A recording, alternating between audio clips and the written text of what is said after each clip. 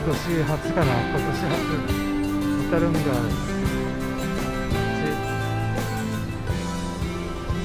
こっち？あっちあっち海です。はい。YouTube チャンネル始まるよ。見てね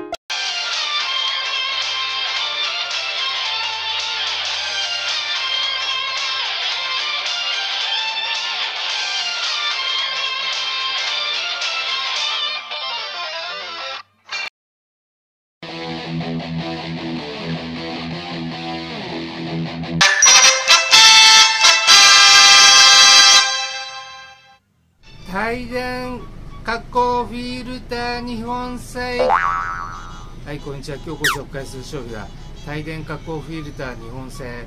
PM2.5 ホコリ花粉黄砂ダニ0.3 0.3ミクロンの塵をキャッチ、えー吸気口換気扇用2枚入りです。取り付け目、えーっと取り付け取り付け面ファスナー。取り付取り付け面ファスナー8枚入り、えー適合形状。えー、と吸気口角丸プッシュ。天井換気扇です。じゃあ詳細見てみましょう。いよいよ射程9詳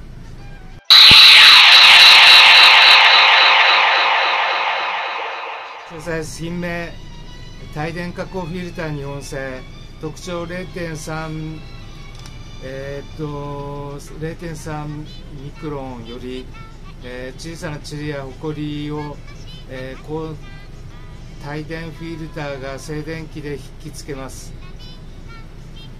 えー薄型フィルターなので十分な吸気ができ換気扇モーターに、えー過剰な負担をかけません。付属の付属のファスナー。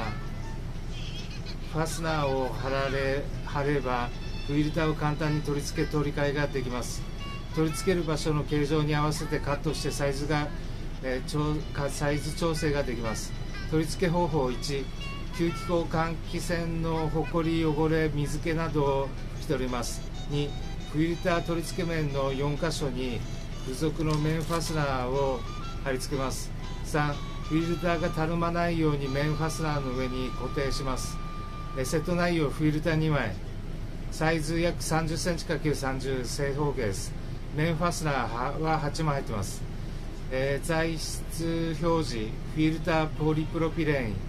面ファスナーはポリエステルです。じゃあ実際見てみましょう。いよいよ射程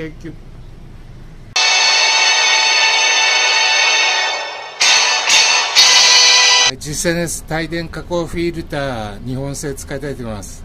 2枚です。30×30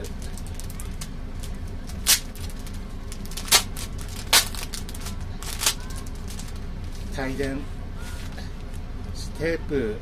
8, 8かけ。8かけついてますね。30×30 の2枚入ってます。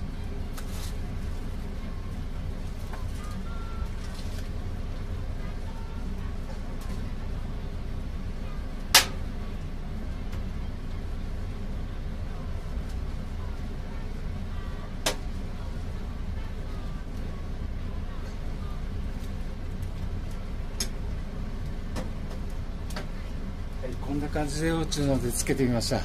また次回も見てください。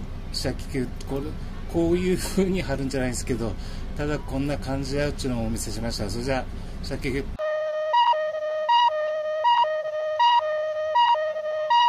NGC 会社帯電加工フィルター日本製貼るとこないんで換気扇で代用しますけど本当はあのいろんな用途で、まあ、お使いください。この注意事項を読んで。通気口とか換気扇ちっちゃいのに合ってますね。30×30 30サイズ。えーね注意事項を読んでいろんな用途でお使いください。これも読んでよいよい。グッド評価バッド評価グッドバッドコメントお願いします。チャンネル登録こちらいつもありがとうございます。過去の動画こちらになっておきます。よろしくお願いします。薬課金課金ダブル確保笑いこちらきしてくまバイバイキングクイーン金確認地球暑いぜ。風コロナに気をつけて手洗いうがいあと暑いんで水分補給してまた次回も見てください。シャキキュッ。